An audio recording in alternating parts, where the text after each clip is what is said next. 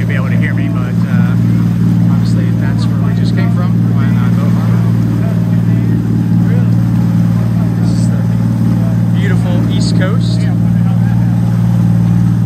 That's Kaena Point over there.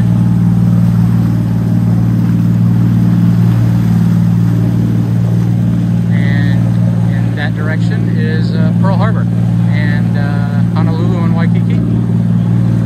Can't really see it from here though. In behind those hills.